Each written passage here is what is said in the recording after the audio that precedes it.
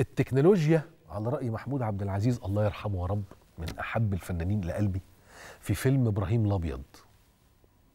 الجراءة حلوة مفيش كلام.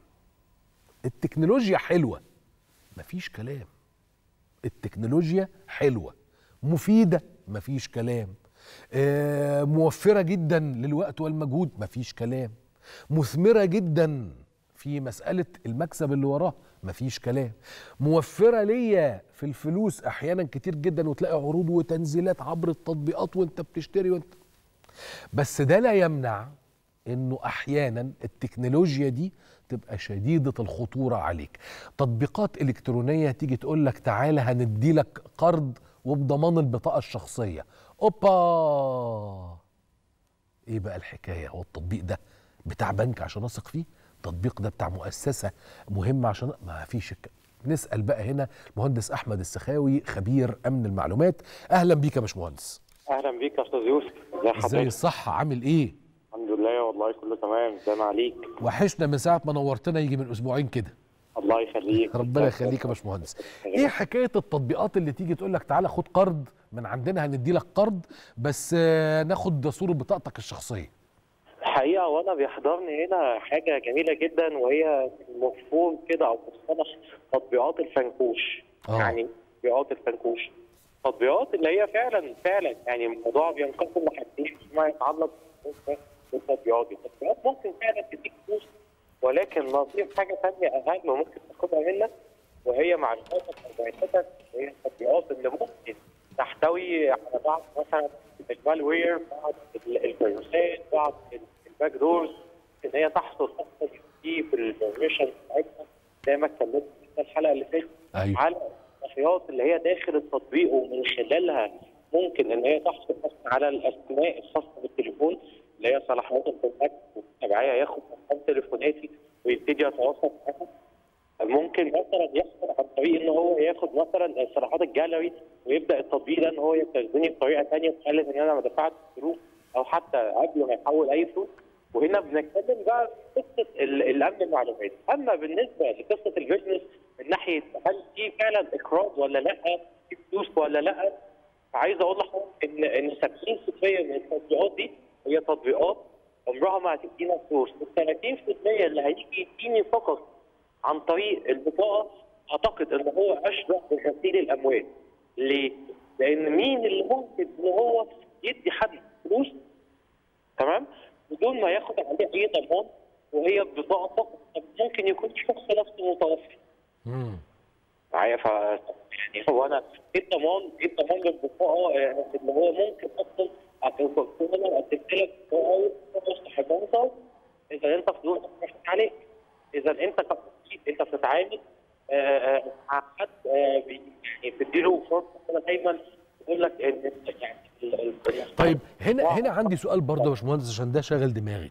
هل ده آه ليه علاقة بما نطلق عليه ال flash loans؟ flash loans دي منتشرة جدا بره.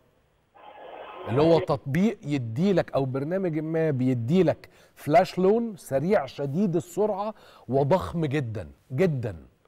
بس هو ليه مدة معينة بالثواني أظن بتبقى مش عارف دقيقة أو أقل من كده حاجة كده يعني.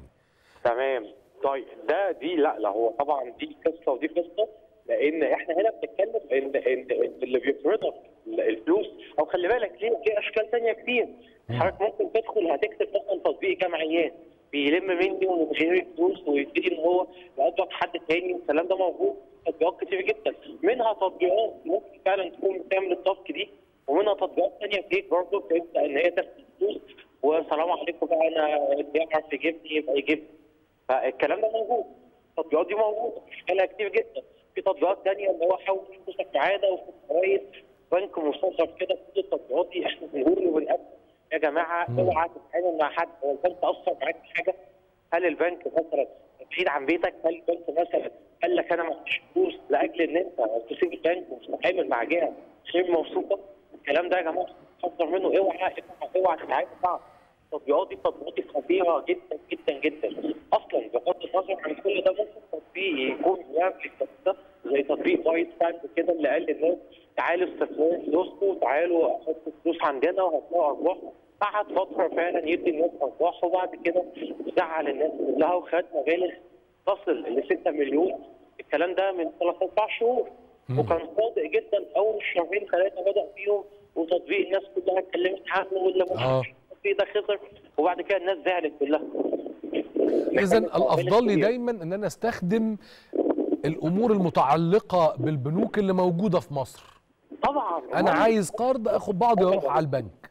صحيح. عايز أعمل جمعية أعملها مثلا والمفهوم ده لينا بس واقعين إن في ناس كتير جدا بتعمل جمعية. اعملها مع ناس اعملها مع ناس قرايبك اعملها مع ناس تبعك. ده مهم. آه.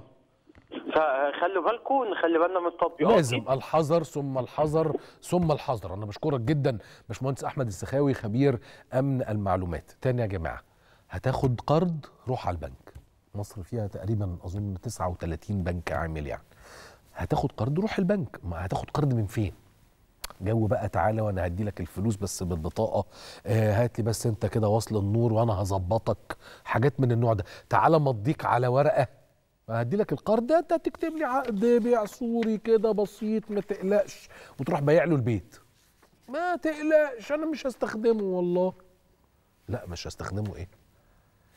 عايز تعمل الحاجة. امشي عدل. ما هو لما تمشي عدل يحصل إيه؟ يحتار عدوك فيك.